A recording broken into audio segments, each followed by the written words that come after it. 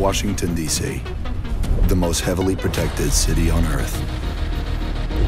Within its limits, 177 foreign embassies, 550 elected officials, and 23,000 military personnel. In the event of an attack, critical personnel are evacuated, underground shelters open, while complex defense systems patrol the sky. But nothing stopped the virus. 27 days after patient zero, Washington fell. It began with riots on K Street, then shootings in the National Mall. Troops withdrew to bunkers. Civilians were left in the streets. America is on the brink of collapse. But some people have survived. Gardens grow on rooftops, their fences patrolled with rifles, in communities that live under constant siege.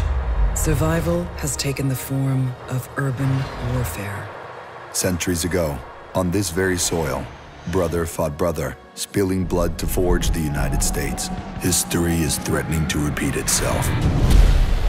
Now, in the heat of summer, six months after the outbreak began, a remnant of a corrupt state lurks in the shadows, ready to engage in a new civil war.